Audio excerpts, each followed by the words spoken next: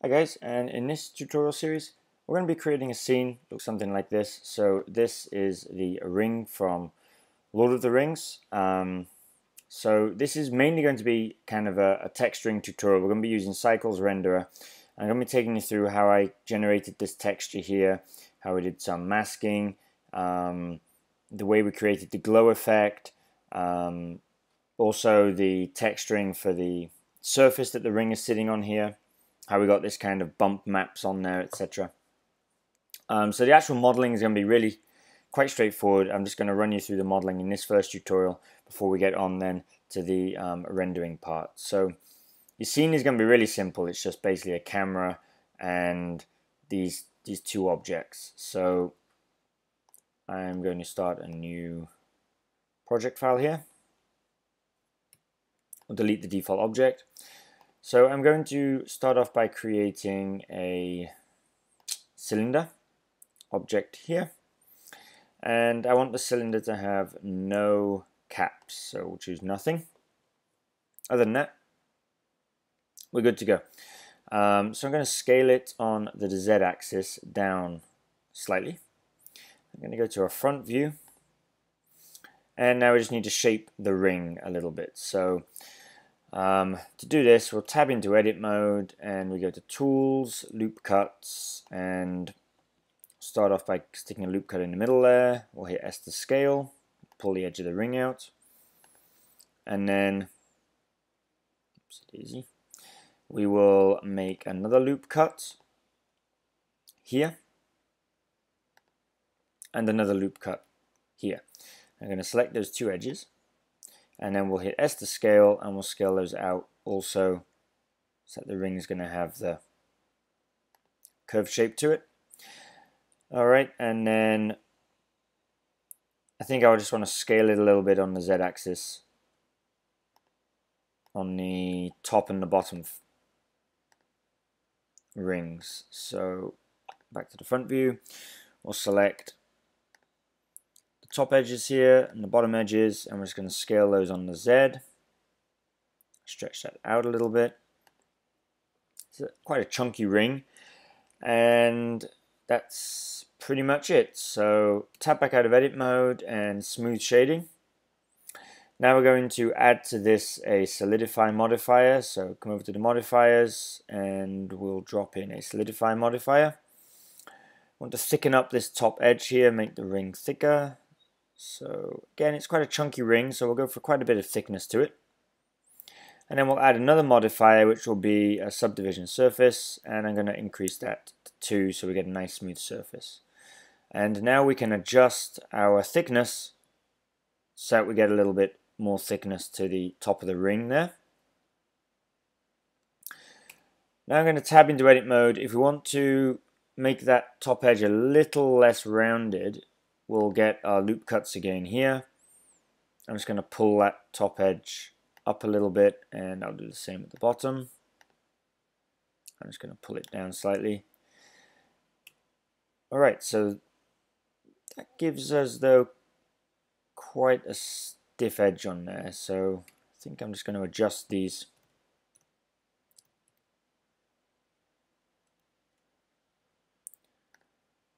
put the loop cut in maybe don't bring it up quite so high. I'm going to have it lower there. Probably just the halfway point will be good enough. Uh, so we still keep that rounded edge there. I'm just going to take the thickness down slightly. Okay, I think that is about it for the modeling of the ring. Very, very basic, straightforward thing to do. Um, so next we're going to drop in a plane object which will scale up. And then we're going to want to position this so the ring is sitting towards the front corner-ish, somewhere around there. Because our camera is going to be viewing something like this angle.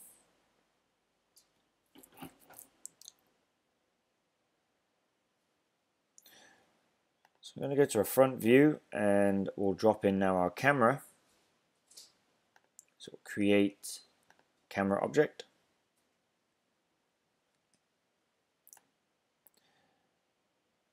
We'll rotate this around.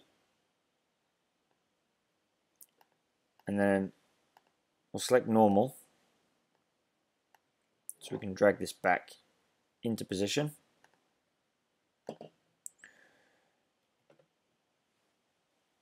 Move the camera up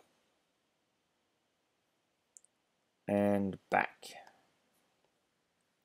Now I'm also going to rotate it down slightly so we're looking slightly down at the ring.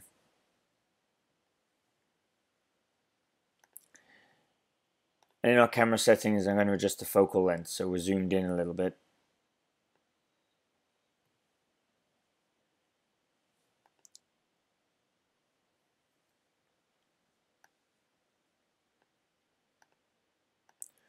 So just a matter now really of lining up the camera. I want to see a little bit of the table beneath the ring. So we'll rotate a little bit more. So we're getting more of a downwards looking view.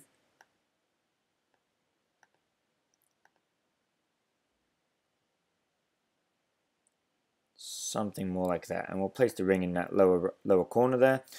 Now it's just a matter of moving our plane so that it fills almost fills our view.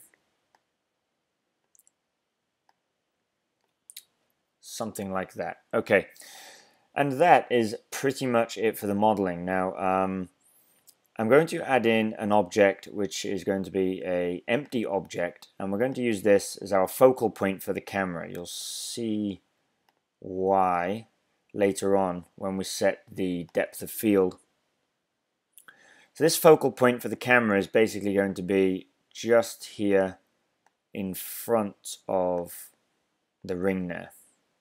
So we select our camera and in our focus we're going to choose the empty object. Now I'm going to name these objects just to keep things nice and tidy. So this will be the focal point object. The plane will be the ground and the cylinder is the ring.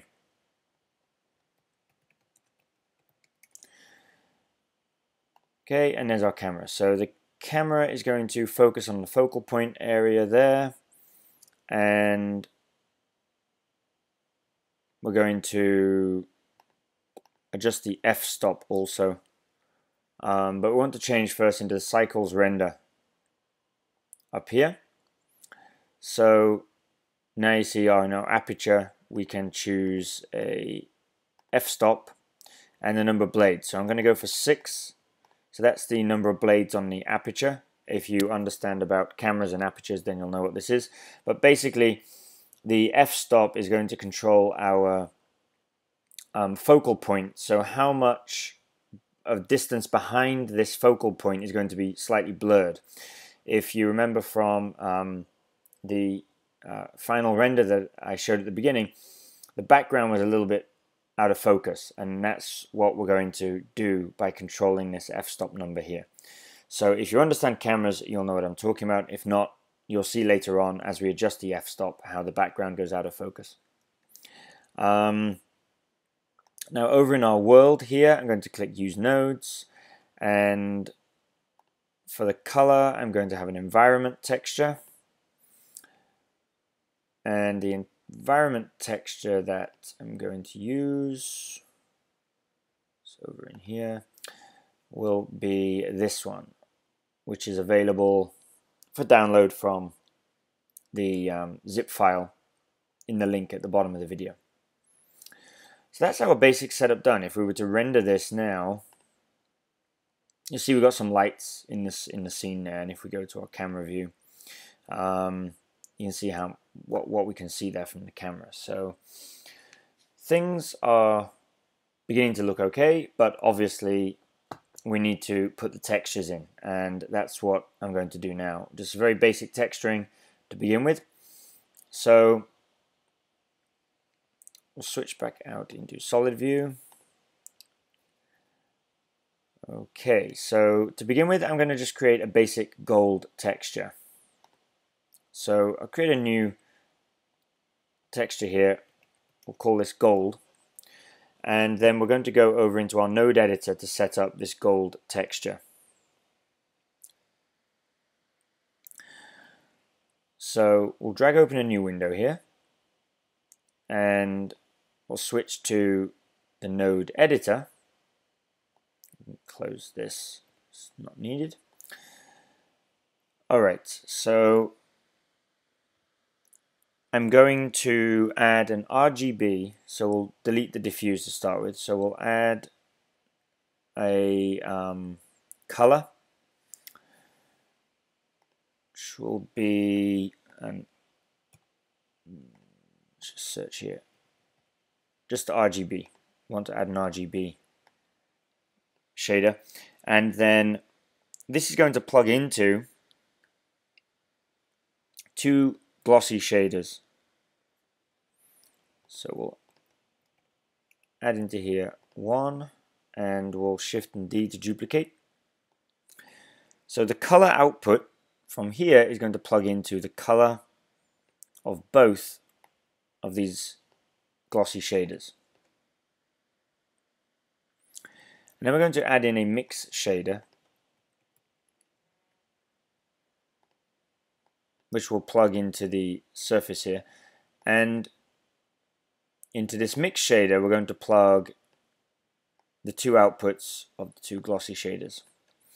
And finally, we're going to have a layer weight shader, which is going to plug into the the um, facing is going to plug into the factor of our mix shader.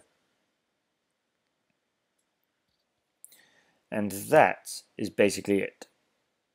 All we need to do then is set up our color. So select a suitably golden looking color. I'm going to make that quite bright. And then in our two glossy shaders, the top one we're going to change to sharp, the bottom one we're going to leave as GGX.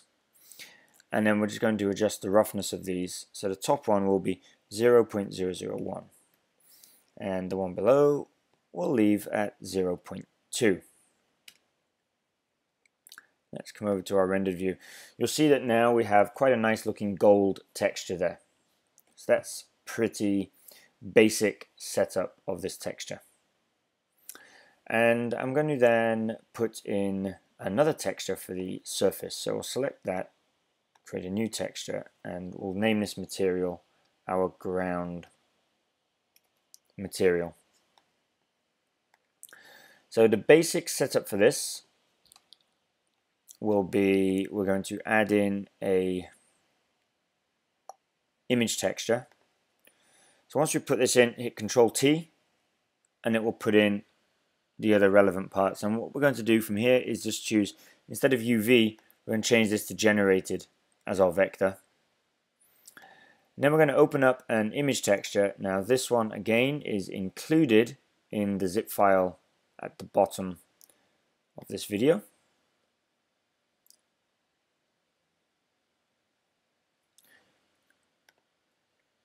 We want to get the Middle Earth image texture. Okay, and then the output of this is simply going to plug into the color of our diffuse, and voila, there we have our map is now visible on the table below our object there. So now you may want to adjust the orientation of the map if you want to have some different details on display. It looks like this map is actually kind of all of the text is written upside down so you may want to rotate things around a little bit. So you can either do that here by rotating the the texture itself. Say for example if you rotate this 180 degrees it'll turn the texture around. Flips it. Let's choose the correct axis. There so that's now rotated things around. Now you can see it's all um, correct. You can see we've got Middle Earth written there and Mordor over here etc etc um, Now I'm going to move the plane object back a little bit. So we've got, yeah, it's looking, it's looking good. Okay, um, so just a matter of moving the plane around, moving the texture around until you have whichever part of the um, the map you want to be in view. So it's down to your own personal preference. So there is the very basic setup of this scene.